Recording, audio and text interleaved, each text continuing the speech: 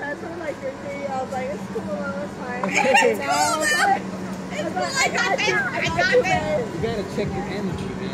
And then like no, You're way off the chart. Everybody felt like everybody's like it's because you both are connected. Like like you have like all this good energy right now. This is like super stressful. So he's like you know, and you're like an He's like, extra. Hell no! I knew I stayed away for a reason.